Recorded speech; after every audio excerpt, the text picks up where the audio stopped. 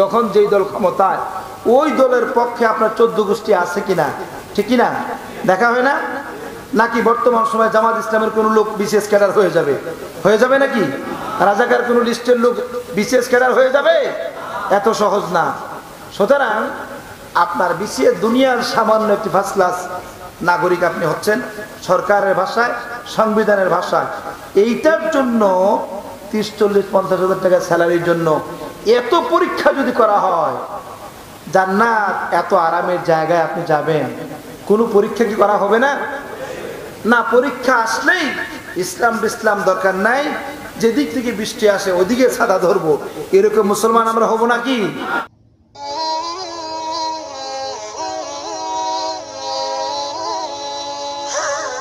আমরা হব এরকম মুসলমান? যে দরকার নাই, কোনো ইসলাম ইসলাম প্রয়োজন নাই। চাচা আপনা দান বাঁচা।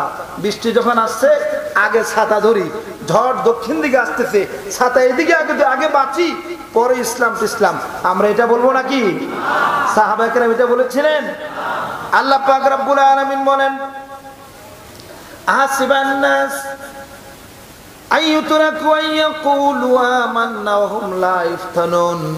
মানুষ কি মনে করেছে? মানুষেরা কি মনে করেছে? আমরা ইমান এনেছি। একথা বললেই তাদেরকে ছেড়ে দেওয়া হবে, তাদেরকে পরীক্ষা করা হবে না। এই বক্তব্য কার? এটা কার কথা? আমি বানিয়ে বানিয়ে বলছি না এটা। আপনি পরীক্ষিত হবেন। আপনি একশো পার্সেন্ট পরীক্ষা দেওয়া লাগবে যে আপনি আল্লাহর পক্ষে আছেন, না নাস্তিক মুক্তাদের পক্ষে চলে গেছেন। এই পরীক্ষা আল্লাহ না নিয়ে আপনি আল্লাহর জান্নাত পাঠাবে না। ঠিক না জান্নাতে যেতে চান, পরীক্ষা দেওয়া লাগবে আপনাকে। আপনাকে পরীক্ষার্থী হওয়াই লাগবে। এটা আমার কথা নয়, আল্লাহ বলছেন, এই পরীক্ষা কামিয়াব আমরা হব বলি ইনশা আল্লাহ আপনি জান্নাতে যাবেন, দুনিয়া পরীক্ষা দিবেন না। দুনিয়া পরীক্ষাটা কি আপনি মুসলিমদের পক্ষে না নাস্তিক মুক্তারদের পক্ষে? এটাই তো পরীক্ষার জায়গা, ঠিক না? আমরা কার পক্ষে? ইসলামের পক্ষে, আল্লাহর পক্ষে, রসুলের পক্ষে, নাস্তিক মুক্তাদ কফের বেঈমানদের পক্ষ, কোন মুসলমান অবলম্বন করতে পারে না, ঠিক না? আল্লাহ পাক বলেন ওহুম লা ইফতানুন, তারা কি মনে করেছে, কোনো পরীক্ষা করা হবে না? ওয়ালাকাদ ফাতান্না আল্লাযীনা মিন ক্বাবলিহিম ফালায়ালামান্না আল্লাহু আল্লাযীনা সাদাকু ওয়ালায়ালামান্নাল কাযিবিন আল্লাহ পাক বললেন যে, পরীক্ষা করা হবে না, এটা হতে পারে না। অথচ আমি তাদের পূর্ববর্তীদেরকে পরীক্ষা করেছি। ইমানের দাবিতে কারা সত্যবাদী? আর কারা মিথ্যাবাদী, আল্লাহ অবশ্যই তা জেনে নেবেন। সুরা আনকাবুত, দুই থেকে তিন নাম্বার আয়াত। এবার আসুন পরীক্ষার জায়গায় পরীক্ষার জায়গায়, পরীক্ষা দেওয়ার জায়গা দুনিয়া। মুসলমানদের জন্য, ইমানদার জন্য পরীক্ষার জায়গা কোথায়? এই দুনিয়া। দুনিয়াতেই পরীক্ষা আপনাকে দিতে হবে। কি পরীক্ষা? পরীক্ষা হলো এই, আপনি হালাল খাবেন, হারাম খাবেন না। আপনি পরীক্ষায় পড়ে যাবেন। আপনি আপনার মেয়েকে বিয়ে দিবেন, যৌতুক নিবেন না। অথবা ছেলেকে বিয়ে করাবেন, যৌতুক গ্রহণ করবেন না। পারিবারিকভাবে আপনি এটা মেনে নিতে পারবেন না। পরীক্ষা পড়ে যাবেন। বলবে, আশ্চর্য কথা, আমার ছেলেকে এমবিবিএস ডাক্তার বানালাম। এফসিবিএস ডাক্তার হলো আমার ছেলে। আমার ছেলে বুয়েটের ইঞ্জিনিয়ার হলো। তিরিশ লক্ষ টাকা খরচ হয়েছে আমার ছেলের পেছনে এখন আমি আমার ছেলেকে বিয়ে করাবো। যৌতুক নিব না মানে এটা কেমন কথা? এটা কি হতে পারে নাকি? এরকম আশা আকাঙ্ক্ষা অনেকে আমরা করি না ভাই। করি। এটা একটা পরীক্ষার জায়গা। এই জায়গায় ডিটারমাইন্ড আপনাকে থাকতে হবে যে আমি আমার ছেলেকে লেখাপড়া করিয়েছি, ডাক্তার হয়েছে ইঞ্জিনিয়ার হয়েছে, যাই হয়েছে, এটা আমার ছেলের সম্পদ হয়েছে। তাই বলে আরেকজনের বাড়ি থেকে সম্পদ আনতে হবে। আমার ছেলের ক্ষতিপূরণ আদায় করা লাগবে। এটা মুসলমানের কাজ না, এটা পুরুষের কাজ না, এটা কাপুরুষের কাজ। ঠিক না? এটা একটা পরীক্ষার জায়গা। আপনি পাক্কা নামাজি মুসলমান। এবার হাতে ধরে বলছি আমি, কি কি পরীক্ষার সম্মুখীন ইমানদার আপনি হচ্ছেন? একেবারে প্র্যাকটিক্যাল কোরআন তো বাস্তব সম্মত কোরআন। কোরআন এরকম নয় যে আজগুবি বায়বি কিছু কথা বলে চলে গেলাম। না, তিরিশ পঁয়ত্রিশ মিনিট, পঁয়তাল্লিশ মিনিট সময়। একেবারে বাস্তব ভিত্তিক আঙ্গুলে ধরে ধরে চোখের মধ্যে আঙ্গুল দিয়ে দিয়ে বলতে হবে যে এই এই পরীক্ষা আমরা পড়ছি, ঠিক না অবশ্যই এই কথাগুলো বললে আমরা একটু কষ্ট পাই। ভাই, কষ্ট পাবেন না। এই ভুলের মধ্যে আমরা আছি। এই ভুলগুলো থেকে আমাদের শুধরানো উচিত। আমাদের শুধরিয়ে আমরা ভালো পথে আসার জন্য চেষ্টা করা উচিত। যদি চেষ্টা নাই করি, তাহলে এমন জুম্মার নামাজ শুধু পড়ব, পঞ্চাশ বছর, ষাট বছর, একশো বছর পরেই যাব। আমার মধ্যে আত্মশুদ্ধির আর চেষ্টা হবে। ভাইরা আমার, কি পরীক্ষা পড়ি আমরা? কোথায় জানি গেছিলাম? যৌতুকের মধ্যে আমরা ছিলাম। ও একেবারে সুন্দর পাঁচ ওয়াক্ত নামাজ আমি আদায় করছি। আমার নাতিকে বিয়ে শুধু করাবো, ছেলেকে বিয়ে শুধু করাবো, মেয়েকে বিয়ে শুধু করাবো। একটু খেয়াল করুন, বাবারা কষ্ট কেউ পাবেন না। আমি কাউকে, আপনি কি করছেন বা আপনার আপনি কি করেন নাই তা আমার জানার বিষয় না। আমার বিষয়টা হলো বিবয় বলে দেওয়া যে আমরা এটা করছি, এটা করা উচিত নয়। ভাই, আপনি নামাজ পড়ছেন। সুন্দর পাঁচ সপ্তাহ নামাজ আপনি পড়ছেন। আপনার সন্তানের বিয়েতে আপনি কনসার্টের আয়োজন করলেন। ইসলামকে সমর্থন করে? আপনি বললেন, আপনি পাক্কা নামাজ মুসলমান। বলছেন, বাবারে, তুমি আমার একমাত্র সন্তান, অথবা তোমরা দুইটা ভাই, তুমি বড় সন্তান, বিয়ে করছ, আলহামদুলিল্লাহ। বিয়ে ইসলামের সৌন্দর্য, ইসলামের মহান সৌন্দর্য একটি বিয়ে। সুন্নতে ইব্রাহিম, এটি বিয়ের কাজ করছ, আলহামদুলিল্লাহ। তবে ইসলাম যা সমর্থন করে না, এই কাজটা তুমি করো না বাবা। ছেলেরা বলতেছে, দেখো বাবা। বন্ধু বান্ধব নিয়ে এসে বলতেছে, দেখো বাবা, আমি তো আর জানি না যৌবন গেলে তুমি কেমন ছিলা। এখন আমাদের একটু আনন্দের সময়, আমরা একটু আনন্দ করব না? ছেলেরা বন্ধু বান্ধব নিয়ে এসে বলতেছে, তাই বলে কি বন্ধু বান্ধব নিয়ে আসলে কি আমি এই অনিসলাম ইসলাম সমর্থন করে না? পরীক্ষার জায়গায় উত্তীর্ণ না হয়ে আমি নিজেকে গা ভাসিয়ে দিব? এটা ইমানদারের কাজ? উচিত নয়। প্রয়োজন যদি হয়, আমাকে বলতে হবে, সন্তান, তোমাকে জন্ম দিয়েছি আমি। আমার মান, সম্মান, ইজ্জত তুমি ধ্বংস করতে পারো না। ইসলামের ঐতিহ্য তুমি ধ্বংস করতে পারো না। প্রয়োজন হলে তোমার বিয়েতে আমি থাকব না, অথবা তোমার বিয়ে আমি করাবো না। তবু হারাম কোনো কাজ আমি আবদুল্লাহ করতে দেব না। ঠিক না এটা হলো পরীক্ষার জায়গা। ভাইরা আমার বছরে দুটো ঈদ আমাদের মধ্যে আসছে আসে না দুটো ঈদ আসে না আমাদের মধ্যে? দুটো ঈদ আসে আমাদের মধ্যে। বিশেষ করে কোন ঈদে কাপড় চোপড় বেশি কেনাকাটা করা হয়? ঈদ উল ফেতরে, রমজানের ঈদে। কোরবানি ঈদ তো আমরা গরু জবাহ করব আর খাব ইনশাল্লাহ তো রমজান ঈদে কাপড় চোপড় বেশি কেনাকাটা করা হয়। ভাইরা, আমার কি পরীক্ষার জায়গা দেখুন। এই ছোটোখাটো পরীক্ষা থেকে যে বিজয়ী অর্জন করা, এই ছোট পরীক্ষা থেকে কামিয়াব হওয়াটা অত্যন্ত সহজ। শুধুমাত্র একটি সিদ্ধান্তের বিষয়। কি সহজ কি? আপনার পুত্রবধূ, নতুন পুত্রবধূ বিয়ে করিয়েছেন। কেনাকাটা করতে যাবে আপনার ছেলেকে নিয়ে। কিন্তু গায়ে বোরকা নাই। আপনি বলছেন, দেখো মা মা, আমি হাজি মানুষ। দেখো মা, আমি হাজি মানুষ, আমি সমাজের দায়িত্বশীল ব্যক্তি। তুমি এত সুন্দরী, আল্লাহ তোমাকে সুন্দর করে বানিয়েছে। আমার পুত্রবধূ তুমি, অথবা আমার মেয়ে তুমি। এই পোশাক, বোরকা ছাড়া যদি তুমি মার্কেটে যাও, রোজার দিন যুবকেরা তোমার দিকে তাকাবে, তারা গুণাগার হচ্ছে, তুমি গুণাগার হবে। আর আমি নামাজি একজন মুসলমান বাধা না দেওয়ার কারণে আল্লাহর দরবারে আমি টাকারা হবে। দেখো মা, আল্লাহর হস্তে তুমি বুরকা পরে মার্কেটে যাও। মার্কেটে যেতে নিষেধ নাই। বুরকা পরে যাও, পরিপূর্ণ হিজাব করে যাও। আপনার কথা বলতে দেরি, পরিবারে ঝগড়া লাগতে দেরি নাই। তিন কথা বলে আপনাকে ফেলে দিয়েছে। দরকার নাই এমন শ্বশুর আমার। আমাকে মার্কেটে যেতে বাধা প্রদান করে। অথবা মেয়ে বলছে, বাবা, তুমি ভুলে গেছো নাকি? আমি আমার টিউশনের টাকা দিয়ে মার্কেট করতে যাচ্ছি, তোমার টাকা দিয়ে আমি যাচ্ছি না। বলি না অজুবিল্লা এরকম কথা শিকার আমরা হই না ভাই। কেন বাপ? এই পরীক্ষার মধ্যে আমরা পড়ছি। মনে রাখবেন এগুলো প্র্যাকটিক্যাল ছোটোখাটো পরীক্ষা। এই পরীক্ষার মধ্যে আপনি বিজয় অর্জন করতেই হবে। আপনাকে সিদ্ধান্ত নিতে হবে, মেয়ে, তুমি আমার করতে জন্ম, আমি তোমাকে জন্ম দিয়েছি। আমার টাকায় লালিত হয়েছো তুমি। আজকে তুমি বিশ্ববিদ্যালয়ে পড়তে পারো। বিশ্ববিদ্যালয়ে তুমি পড়ো, অসুবিধা নাই। বিশ্ববিদ্যালয়ে তুমি আমার রক্তে গঠিত, আমার টাকায় তুমি গঠিত হয়েছো। আজকে তুমি টিউশনি করে অনেক টাকা উপার্জন করতে পারো। মনে রাখবে আমাকে বাপ হিসেবে স্বীকার যদি করতে চাও, অবশ্যই তুমি হিজাব করে বাহিরে যাওয়া লাগবে। ঠিক না এই সিদ্ধান্ত আমরা কি নিতে পারব ভাই? বলি, ইনশাআল্লাহ। ভাইরা আমার, এই পরীক্ষাগুলো যদি আমরা উত্তীর্ণ হতে পারি আচ্ছা এই পরীক্ষা উত্তীর্ণ হওয়ার জন্য আপনার কোনো অনেক টাকা খরচ হবে? অনেক পয়সা খরচ হবে? না, কোনো টাকা পয়সা খরচ হবে না, শুধু আপনার সিদ্ধান্তের বিষয়। আল্লাহ রাব্বুল আলামিন বলেন, আম হাসিবতুম আন তুতরাকু ওয়ালাম্মা ইয়ালামিল্লাহু আল্লাযীনা জাহাদু মিনকুম ওয়ালাম ইয়াত্তাখিযু মিন দুনিল্লাহ ওয়ালা রাসূলিহি ওয়ালাল মুমিনিনা ওয়ালিজা। আল্লাহ তাবারক ওয়া তাআলা বলছেন, তোমরা কি মনে করো তোমাদেরকে রব্বুল আলামিন এমনি এমনি ছেড়ে দিবেন।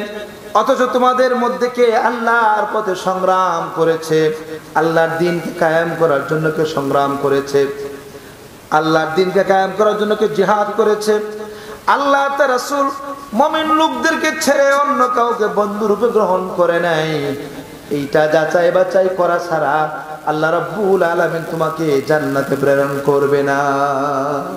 সুবহানাল্লাহ বলবেন না? দেখুন একেবারে আঙ্গুল দিয়ে আল্লাহ বলছেন, তোমার বন্ধু কে? তোমার বন্ধু কি ইহুদি? তোমার বন্ধু কি নাসারা? তোমার বন্ধু কি ইসলামের দুশ্মন? তোমার বন্ধু কি আল্লাহর দুশ্মন? না না, মুসলমান, প্রকৃত ইমানদার তারা কে তোমার বন্ধু?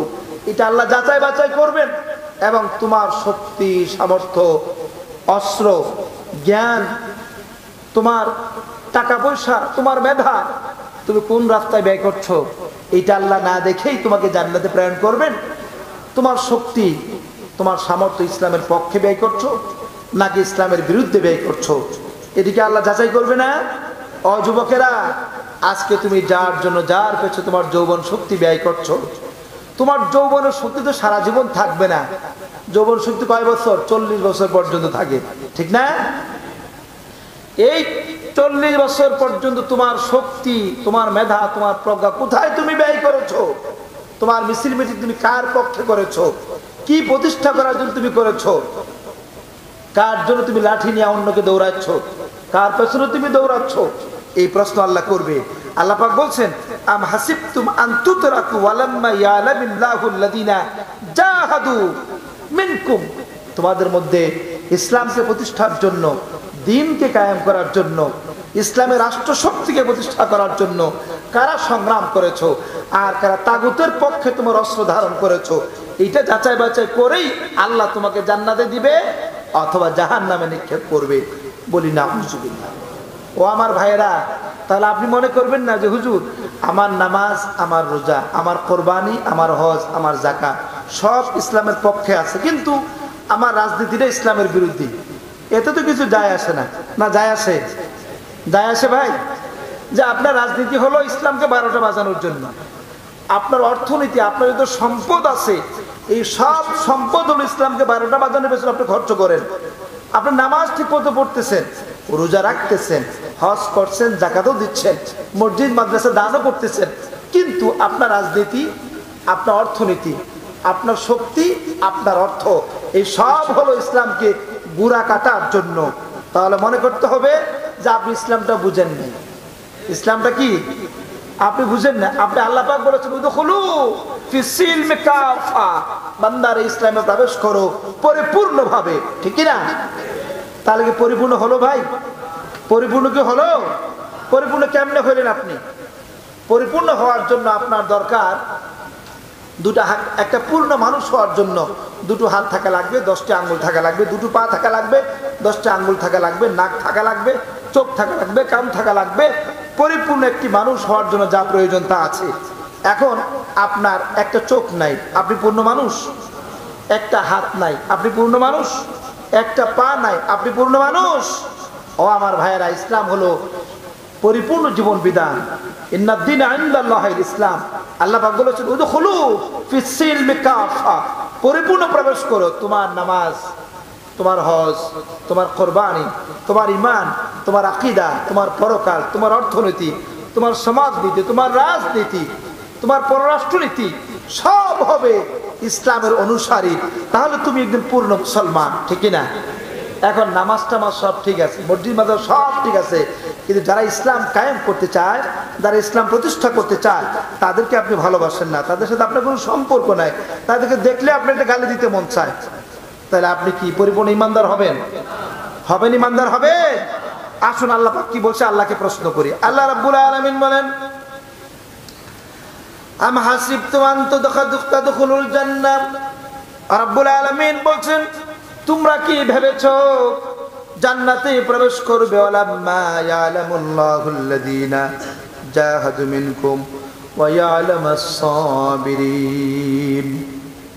তোমরা কি মনে করছ, তোমরা জান্নাতে প্রবেশ করবে? তোমাদেরকে এই বিষয়ে কোন প্রশ্ন করা হবে না। তোমরা কি আল্লাহর দিনকে কায়েম করার জন্য জিহাদের ময়দানে ছিলে? তোমরা কি আল্লাহর দিনকে কায়েম করার জন্য জিহাদের ময়দানে অস্ত্র ধারণ করেছিলে, নাকি ইসলামকে বিলীন করার জন্য অস্ত্র ধারণ করেছিলে? তোমরা কি ইসলামের পক্ষে থাকার কারণে আজাবের শিকার হয়েছিলে? মামলা মোকদ্দমা তোমার উপরে চাপিয়ে দেওয়া হয়েছিল। তুমি কি সাবরে জামিল ধারণ করেছিলে, নাকি বলেছিলে, ভাই, আর ইসলাম ইসলাম করতাম না এখন থেকে। আপনারা যা করেন, তার সঙ্গে আছি, ধৈর্য ধারণ করেন নাই। এই প্রশ্ন রব্বুল আলমিন না করে, তোমাকে কিন্তু আল্লাহ জান্নাত দান করবে না। ঠেলার নাম? এটা কিন্তু আপনার আলেমদের ক্ষেত্রে বললে হবে না। যদি সত্যিকারে কোনো আলেম ঠেলায় পরে ইসলাম ছাইরা যায় এটা কি হইল? ঠেলায় পরে যে মামলা উঠায় নাই কেউ, এটা কি পূর্ণ ইমানদার হইল? আগে একশো মামলা ছিল, ঠেলায় পরে সব উঠায় ফেলছে। মনে করেন, এটা কি পূর্ণ ইমানদার হইল?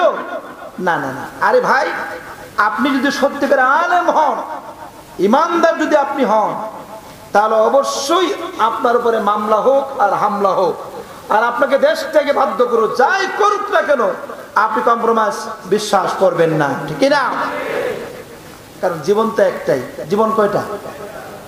জীবন কি দশটা নাকি? আপনার হায়াত, ধরলাম একশো বছরে আপনার হায়াত পেয়েছেন। বয়স পঞ্চাশ বছর চলে গেছে, বা ষাট বছর চলে গেছে। আর বাঁচবেন কদিন? চল্লিশ বছর বাঁচবেন যদি একশো বছর হায়াত পেয়েই থাকেন। একশো বছর গড়াই আমাদের নাই, আটষট্টি বছর বর্তমান আমাদের গড়াই ধরলাম আপনি বাঁচলেন একশো বছর, তো চল্লিশটা বছর আপনি এই পাঁচ আটা গোলামি করে কি লাভ হলো? দুনিয়ার জীবনে আর কিছু পাইলেনি কিন্তু আপনার পরকালে হাজার কোটি বছর সব ধ্বংস হয়ে গেল। এটা ভালো? নাকি দুনিয়ার জীবনে কষ্ট করে কারাগার থেকে পরকালে হাজার কোটি বছর আল্লাহর জান্নাতে যাব? কোনটা ভালো? দ্বিতীয়টা ভালো না ভাই?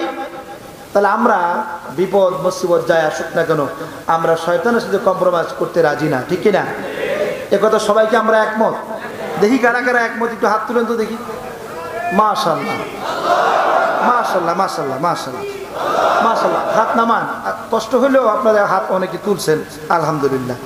সম্মানিত ভাইয়েরা, সেজন্য এই বিষয়গুলো একেবারে বাস্তব এবং প্র্যাকটিক্যাল বিষয়গুলা।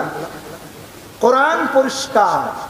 সাড়ে চোদ্দশো বছর আগে, পনেরোশো বছর আগে আল্লাহ তালা কোরআনে বলে দিয়েছেন, বান্দা, এই এই সমস্যাগুলো তোমরা পড়বে। এই সমস্যা পড়লে যদি ছাতা যেই দিকে আসে ওই দিকেই ধরো, আর ধৈর্য ধারণ না করো সাহাবাই কেরামের উপর অত্যাচার হয়েছে, নির্যাতন হয়েছে। কি নির্যাতন হয়েছে? হজরত বিলাল রদি আল্লাহ সাক্ষী আবুজর গিফারি তার সাক্ষী, ইসলাম কবুল করার জন্য আবুজর গিফারি তার ভাইকে পাঠিয়েছেন রসুল্লাহ দরবারে পাঠাইছেন। যে শুনে আসো তো, মোহাম্মদ নামে একজন লোক আসছে মদিনায়। একটু শোনো তো যায়, কি বলে? তো আবুজর গিফারির ভাই গেলেন। যাইয়া রসুলের কাছে বসলেন, শুনলেন। নবীজির বক্তব্য শোনার পরে আবুজর গিফারি ভাই এসে বলছে আবুজর শোনো। আমার এই জীবনে এত সুন্দর কথা আমি আর কোনোদিন শুনি নাই। কোনো মানুষ এত সুন্দর হতে পারে, আমার দু চোখ কখনো দেখে নাই। কোনো মানুষ মানুষের কল্যাণে এত সুন্দর কথা বলতে পারে? আমার জীবনে আমি কোনোদিন শুনি নাই। আবজর গিফারি রাজিয়াল্লাহ তার ভাইয়ের কথা সন্তুষ্ট হতে পারলেন না। তিনি আবার চলে গেলেন রসুল্লাহ দরবার। যাওয়ার পরে তিনি নিজে রসুলের কথাবার্তা শুনলেন।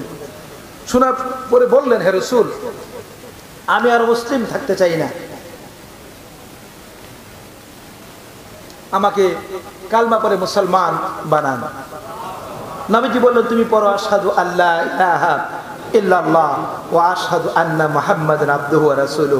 আবুদুল আনলেন সঙ্গে সঙ্গে চিৎকার বলেন লা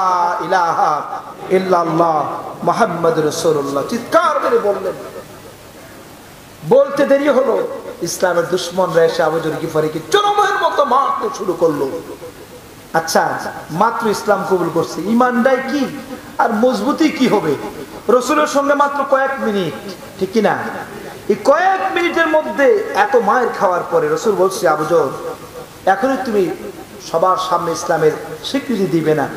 এখনই তুমি ইসলামের দাওয়াত দেওয়ার প্রয়োজন না। আবেগ ধরে রাখতে পারলেন না, মারতে শুরু করলেন। ওই রাস্তা দিয়ে যাচ্ছিলেন আবু বকর সিদ্দিক রাদিয়াল্লাহু তাআলা। তিনি বললেন, আবু জেহেলেরা, শোনো তোমরা যাকে মারছ, তোমরা তাকে চেনো না। তোমরা তাকে চেনো না। তোমরা তাকে চিনতে পারছ না। তিনি গিফার গোত্রের লোক। আবুজর গিফারি তার নাম। তোমরা সিরিয়া যাবা। এই ওদের বাড়ির সামনে দিয়ে যেতে হয়। এই রাস্তা অতিক্রম করা ছাড়া তোমরা সিরিয়া ব্যবসা বাণিজ্য করতে পারবা না। এখনও সময় আছে। তার কাছে ক্ষমা প্রার্থনা করো এবং তার সাথে আপুস মীমাংসা করো। আবু বকর সিদ্দিক রাদি আল্লাহর এই কথায় ভয় পেয়ে তারা মারা একটু বন্ধ করলেন। আবু জর গিফারি রাদি আল্লাহ ইসলামের পক্ষে নবীজি তখন বললেন আবুজর তুমি এই মুহূর্তে ইসলাম কবুল করেই এখনও স্বীকৃতি দিয়ে দিলে আমি তোমাকে মানা করেছিলাম। আবুজর কি বললেন শুনুন। আবুজর বললেন, রসুল, আপনার মুখের কালেমার যে মজা, আপনার মুখের কালেমার যে মজা পেয়েছি এই কালেমা স্বীকার করার মাধ্যমে, আপনার কদম চুম্বন করার মাধ্যমে আমার গোটা জীবনটাকে ইসলামের জন্য উৎসর্গ করে দিয়েছি আমি। কম্প্রোমাইজ নাই। এখন থেকে আমার সমস্ত সম্পদ যা আছে সব ইসলামের জন্য আমি ওয়াকফ করে দিলাম। আর আমরা কি করি? আমরা সম্মানিত ভাইয়েরা, সামান্য পরিমাণ টাকা পয়সা যদি পেয়ে যায় আমারও যদি আপনারা কয়েক লাখ টাকা দিয়ে দেন, তাইলে আমার জবান বন্ধ হয়ে যাবে ইনশাল্লাহ এমন হুজুর বাংলাদেশে নাই? আরে আমিও তো এক নম্বর হুজুর। আরে সাধারণ ভাই গেলে কোক হুজুর আপনাকে বিশ লাখ টাকা দিব আমরা এই সমস্ত কথাবার্তা সব বন্ধ করে দেন। সামাজিক বিষয়ে আমরা যা করি, এগুলো সব বন্ধ করে দেন। আমি আলহামদুলিল্লাহ বলে বসে থাকব। যা আছে বলে বিশ লাখ পেয়ে গেছি। ইমতি করে বিশ লাখ টাকা জমা দিতে পারব না জিন্দিগিতে। একবার যখন পাইছি, আমার জবান বন্ধ। ঠিকই না? এমন হুজুর আমার দেশে নাই? এমন পাঞ্জাবিওয়ালা নাই? কত কত চান, কত কত হালি চান, কত ডজন চান। অসংখ্য আমরা আছি। সুতরাং ইসলাম কম্প্রোমাইজের মধ্যে নয়। ইসলামের জন্য জীবন দিতে হবে, ইসলামের জন্য রক্ত দিতে হবে, এই রক্তের উপরে ইসলাম প্রতিষ্ঠিত হবে ইনশাআল্লাহ। একটা কথা মনে রাখবেন, এই নির্যাতন আজকে যে অত্যাচারের যে মামলা নামে যে অত্যাচার শুরু হয়েছিল, যদি এই ঘাদানি কমিটি, ঘাতক দালাল, নির্মূল কমিটির শয়তানরা যদি বিজয়ী হতে পারত। আগামীকাল থেকে শুরু হতো। আলেমদেরকে নির্যাতন করা নতুন করে শুরু হতো। ঠিক কিনা? মাননীয় প্রধানমন্ত্রীকে ধন্যবাদ দিতে হয়।